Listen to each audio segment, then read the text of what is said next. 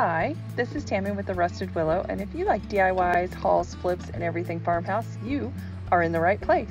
If you are returning, thank you so much for your support, and if you are new here, please consider subscribing. We have a lot of fun on this channel. Let's jump into DIY number one. Okay, so the first DIY is going to be a rolling pin. I am taping around the handle and I am going to paint them red with my Crimson Waverly chalk paint.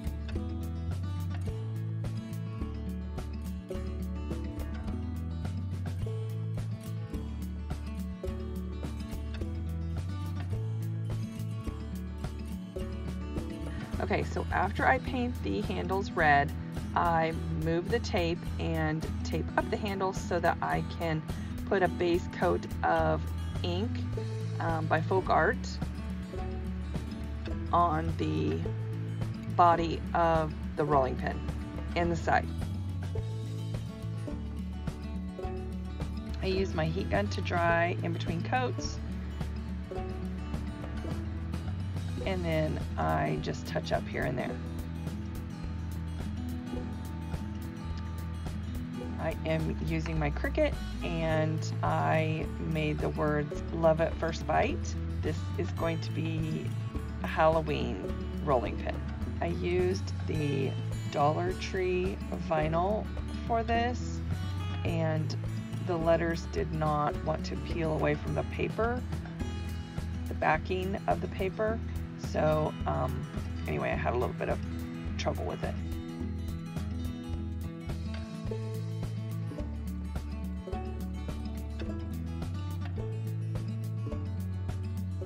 I'm giving this a base coat of plaster and then I go over it my final coat with white.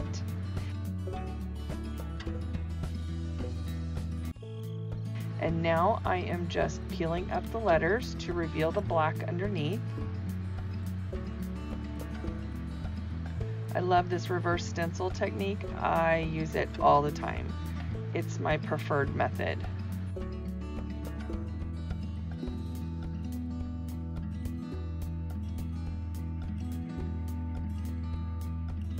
Now I am just distressing the rolling pin to get some of that black to show through. And guys, I only gave this two coats and I was having a heck of a time getting the distressing on this rolling pin. So now I take the crimson and I water some down and I splatter it. To make it look like blood. anyway, I think it turns out super cute. I am also going back with some black and I didn't rinse my brush out and when I mixed the black it turned to kind of a burgundy, a darker red and it looked more like blood. So if this is too gory for you then look away. I'm sorry. Um, but I think it turned out super cute and it's for your tiered tray. I add some black and white checkered ribbon from Dollar Tree and some jute and then I added a bow and this DIY is done. Okay guys, this is the DIY Fall Challenge with Heidi Sonboul and she changed the date to the 4th. But here is Heidi's channel and if you have not checked out her channel yet, make sure you go over and check out Heidi's channel. There will be a lot of great creators in this fall DIY challenge and I am always so excited to watch. Okay guys, let's get into the next DIY. Okay, I am doing another rolling pin. I had these rolling pins that I had thrifted and I need to get them upcycled. I am painting this one in the beautiful color Agave.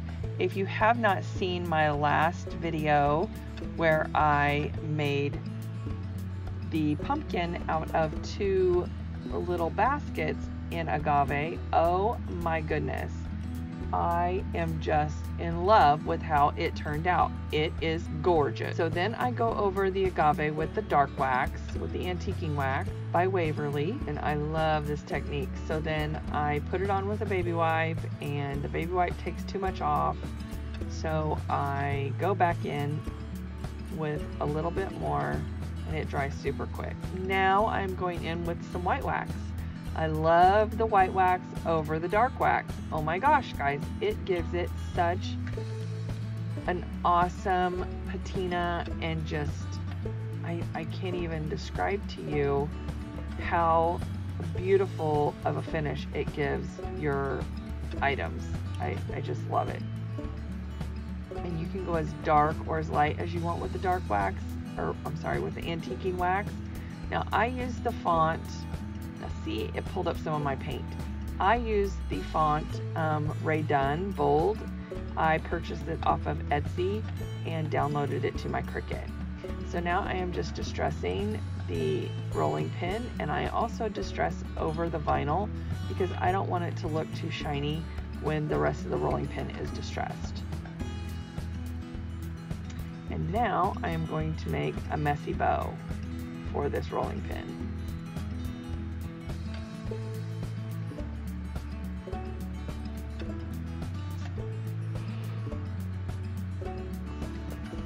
I just cut all my ribbon to about the same length.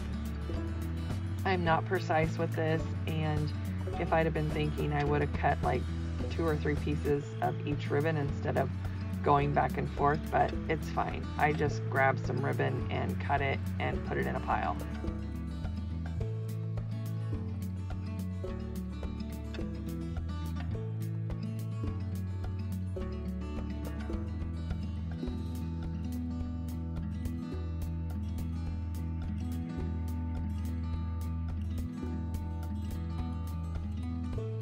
Guys, if you have not hit that subscribe button, please do so.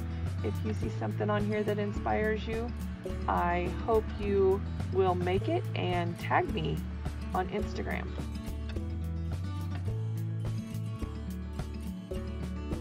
And that is the messy bow. I added some jute.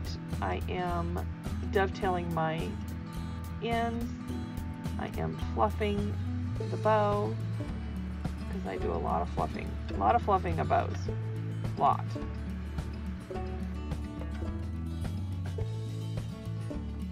All right, on to DIY number three. Okay, guys, this is amazing. I thrifted both those pans. The big pan was $1.99. The small pan was, I believe, 99 cents. Those, what do you call them? Okay, guys, I took out the four pieces, the spindles and the cake pans, and I gave them a good coat of flat black spray paint. And then I give them uh, two good coats of the white Waverly chalk paint. And then I go in and I distress. And I just want a little bit of black showing here and there. And let me tell you, on this big round pan, oh my goodness, I could not get it to, what's it called? Distress. Like I could not get the bottom on the pan to distress. Like I had to get out some really high grit sandpaper. It was insane. So now that I got everything painted and distressed, I take it outside and I give it a good coating of clear coat to seal everything so that it doesn't, so that nothing will happen to it and the paint doesn't chip off. And I let that dry quite a while before I handle it. So now I am just taking the screw and attaching the longest spindle and it is tall. Guys, this is tall from a bed frame. Amazing. A bed frame that I got for free.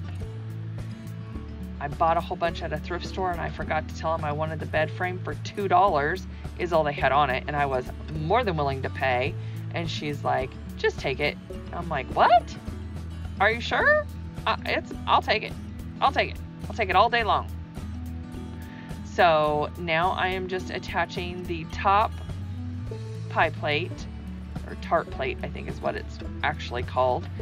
And it goes on just fine. My husband drilled me some pilot holes to make it easy for me, and they are attached. Now I am attaching this, the, not the spindle. This is a finial. This was uh, actually the bedpost, one of the bedposts on the side. When I saw this bed frame, I was like, oh my God, I have to have it. It had like 18 spindles and not including the bed posts or anything like that. And my husband was like, Really? Seriously? We don't need a bed frame. I'm like, Babe, it's not a bed frame. Those are spindles. So, after I glued down this finial, I realized that it was not in the center. And when I went to move it, it ripped up all my paint because it is a non-stick pan, but easily fixed. Just put a couple more coats of white paint on there and I did touch that up. You can still see some pan through there, but I did touch it up. And use some more Gorilla Glue and hot glue and you're good to go. Alright guys, DIY number four, which I really don't classify as a DIY other than the fact that I spent hours making this on Canva. So this is your free printable right here. And guys, this is my frame that I use for all my printables that I get from Natalie Callahan. If you have not seen Designed to the Nines, you need to go over to her channel. I will link it down below in the description box. But she gives you these beautiful printables that you can print out at Staples or Office Depot. I couldn't think of the name. Anyway, all of these are hers and she gave them away for free. Like she gave them to us for free. And I made these two and one of them is a sneak peek coming up and um, I made the harvest. I saw a sign like this somewhere. I can't remember where exactly. If it was Antique Farmhouse, I think it was Antique Farmhouse. Anyway, I saw something like this similar and I wanted to recreate it. And I am offering it to you for free down below. And I printed these out actually at Walgreens. They were having a sale, which I learned about on Natalie's channel. And she said, guys, go use your coupon. Go print these out. Go use your coupon. Girl, I did it. I went to Walgreens and I used my coupon and I printed them out. I think they were actually a little over $5 with tax but it was awesome. So thanks for the tip, Natalie. So here is my tiered tray. There's those stone hearts that I got in my last haul. I will link that in the cards above. I always say in the cards below or above below. it's only above. The cards are above.